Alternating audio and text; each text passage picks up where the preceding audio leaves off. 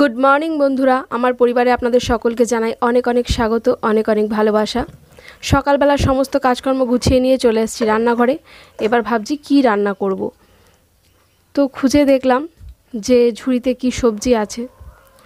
তো না, বিশেষ কিছুই সবজি নেই, কয়েকটা পেঁয়াজ পড়ে আছে, আর সেভাবে কিছুই নেই।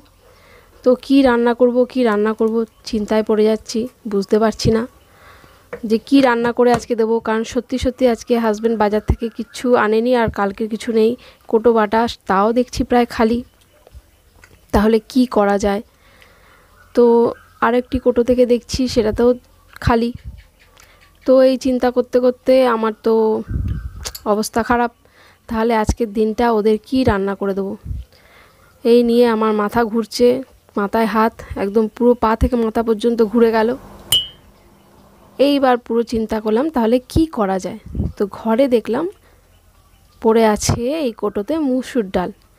তো ভাবছি এই মুসুর ডাল দিয়ে এমন সুন্দর আজকে একটা রেসিপি তৈরি করে খাব যে আমার ঘরের লোকেরা হাত চেটে তো খাবেই এবং প্রশংসা করবে। তো তাহলে চলুন এই মুসুর ডাল দিয়ে কি তৈরি করা যায় সেটাই আমি আজকে আপনাদের সঙ্গে শেয়ার করব। তো নামে ডাল মুসুর ডাল, কিন্তু এটা থেকে অনেক রকমের জিনিস কিন্তু করা যায়, অনেক পদও করা যায়। তো দেখুন, এখানে আমি অনেকটা পরিমাণে ডাল ভিজিয়ে দিয়েছি। তো একটু সময় লাগবে কিছু সময়ের জন্য। এটা এখন আমি ভিজতে দেব। ভিজিয়ে যে এটা ফুলে উঠবে, মোটামুটি ঘণ্টা খানেকের জন্য একে আমি এখন ভিজিয়ে রেখে যাচ্ছি। তো এক ঘণ্টা পরে এটার জন্য কি কি করব তার ব্যবস্থা করব। তো দেখুন, এক ঘণ্টা বাদে ফিরে এসেছি। ডালটা আমার ফুলে গেছে বেশ, আর দেখাচ্ছি কীরকম ফুলেছে। ডালের প্রায় দুটো পাট যেমন ফাঁকা হয়ে যায় না, দুটো অংশ, তো সেই রকম হয়ে গেছে। তো এরমই হয়। তো আজকে যেটা বানাবো সেটা হচ্ছে মুসুর ডালের ধোকা। হ্যাঁ বন্ধুরা, ঠিকই শুনেছেন, মসুর ডালের ধোকা। কারণ বাজার থেকে আপনারা অনেকেই প্যাকেট কিনে নিয়ে আসেন, চলতি ধোকা রান্না করার জন্য বাড়িতে এসে সেটাকে যেভাবে তৈরি করেন সেইভাবে আমিও করব, তবে একদম পুরোটাই বাড়িতে, কোনো বাজার থেকে নয়। তো মুসুর ডালটা আমি প্রথমে শিলনোড়াতে বেটে নেব। আপনারা চাইলে এটা মিক্সিতে ব্লেন্ড করে নিতে পারেন, বেটে নিতে পারেন, কিন্তু আমি কিন্তু শিলনোড়াতেই আজকে করব, কারণ আমার মিক্সিটা খারাপ হয়ে গেছে। তো চলুন এটা থেকে একটা সুন্দর পেস্ট তৈরি করে নিই আমি, মুসুর ডালটা বেটে। কেমন? বন্ধুরা, মুসুর ডালের পেস্ট আমার একেবারে রেডি এইবার আমি এর মধ্যে অ্যাড করব সামান্য পরিমাণে লঙ্কার গুঁড়ো, সামান্য হলুদ গুঁড়ো, আর অ্যাড করব একটু লবণ আর দেব এক চামচ মতো চিনি। তো এই সমস্ত উপকরণগুলো দিয়ে ডালটা সুন্দরভাবে আমি একটু ফেটিয়ে নিচ্ছি। এইবার কড়াতে দিয়ে দেব একটু তেল। প্রায় এক চামচ মতো সাদা তেল আমি দিয়ে দিলাম কড়াতে। এবার তেলটা গরম হয়ে যাওয়ার পর এর মধ্যে এই যে ফেটিয়ে রাখা মুসুর ডালটা, এটা দিয়ে একটু দু তিন মিনিট মতন আমি নেড়ে চেড়ে নেব।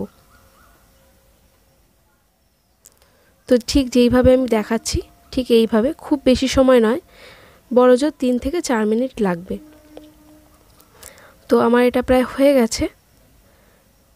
তো দেখুন, কড়াইতে যখন এইভাবে লেগে লেগে যাবে, তখন বুঝতে হবে এটা হয়ে গেছে।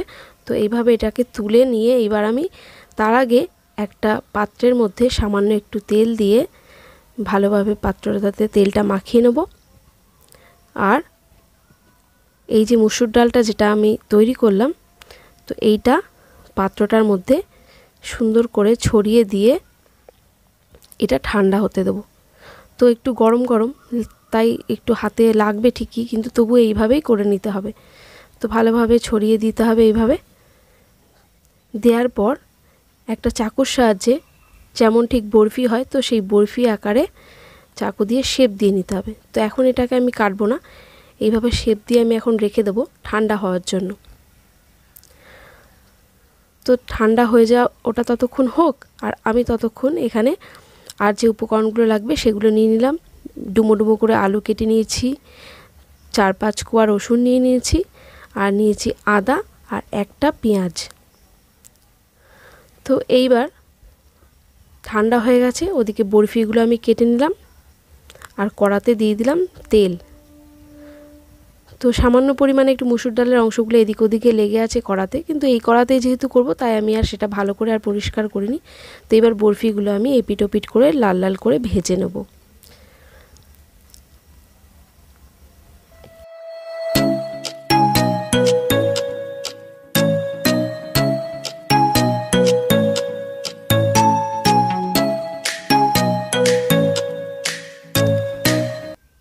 বন্ধুরা সমস্ত বরফিগুলো আমার লাল লাল করে ভাজা হয়ে গেছে। বাকিগুলো পড়ে আছে, সেগুলো ভেজে নিলাম। এইবার যে আলুগুলো আমি কেটেছিলাম ডুমো ডুমো করে, সেগুলো নুন, হলুদ দিয়ে একটু ফ্রাই করে নেব। তারপরে প্রেশার কুকারে সিটি দিয়ে সেদ্ধ করে নেব। আপনারা চাইলে এটা এমনিও করাতেও করতে পারেন, কিন্তু আমার তাড়াতাড়ি সময় বাঁচানোর জন্য আমি এটাকে প্রেশার কুকারে দিয়েছি। তো এইবার আমি কড়াতে আরও কিছুটা তেল দিয়ে তার মধ্যে সামান্য একটুখানি চিনি দিলাম। তার মধ্যে দিলাম সেই কেটে রাখা পেঁয়াজটা। তো পেঁয়াজটা আমার প্রায় গোল্ডেন গোল্ডেন কালার চলে এসছে। এইবার আমি জিরে, আদা, রসুন যেটা পেস্ট একটা তৈরি করেছিলাম মশলা সেটা দিয়ে সুন্দরভাবে কষিয়ে নেব। আর এর মধ্যে নুন, হলুদ, লঙ্কার গুঁড়ো যা যা লাগবে, সমস্ত কিছু দিয়ে মশলাটাকে ওপর করে, নিচ করে সুন্দর করে একেবারে কষিয়ে নেব এবং যতক্ষণ না তেল বেরিয়ে আসছে, ততক্ষণ পর্যন্ত ওয়েট করব। আর এর মধ্যে একটু টমেটো কেচাপ দিলাম, কারণ আমার কাছে টমেটো ছিল না। টমেটো শেষ হওয়ার জন্য আমি টমেটো সস দিলাম। তো তো দেখুন, এইবার আমি মশলাটা যতক্ষণ না তেল ছেড়ে আসছে ততক্ষণ কষিয়ে নেব। তো মশলাটা প্রায় কষানো হয়ে গেছে, কিন্তু এই সময় আমি একটু যে বাটিতে মশলা রেখেছিলাম, সেই বাটি ধুয়ে এক বাটি জল দিয়ে দিলাম। তো আরেকটু আমি কষিয়ে নেব মশলাটাকে। তো দেখুন, এবার আমি একটু ঢেকে দেবো যাতে আরও ভালোভাবে মশলাটা কষে যায়। তো আমার হয়ে গেছে, আর দেখুন, কালারটা একবার দেখুন, মশলা কষানোর তেল ছেড়ে তো বেরিয়ে বেরিয়ে এসছে, সেটা পরিষ্কার বোঝা যাচ্ছে, আর কালারটাও অসাধারণ এসছে, দারুণ এসছে। তো এইবার সেদ্ধ করা আলুটা আমি এই মশলার মধ্যে দিয়ে দিলাম। দিয়ে একটু সুন্দরভাবে একটু নেড়ে ছেড়ে নেব, আর একটু ফোটার জন্য সময় দেবো।